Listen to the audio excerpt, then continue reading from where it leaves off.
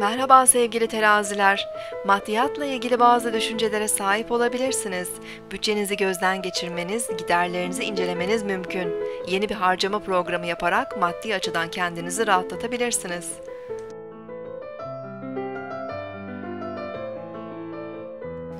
Bugün 8 Temmuz 2014 Salı, Mars günündeyiz.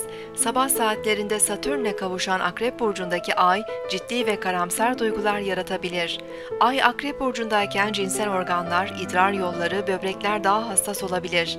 Bedenimizdeki bu bölgeleri daha fazla korumalıyız. Kronik sorunlarda artış olabilir. Bugün Yengeç burcunda ilerleyen Güneş, Koç burcundaki Uranüs'le kare açı yapacak. Çevremizde ani ve beklenmedik durumlarla karşılaşabiliriz.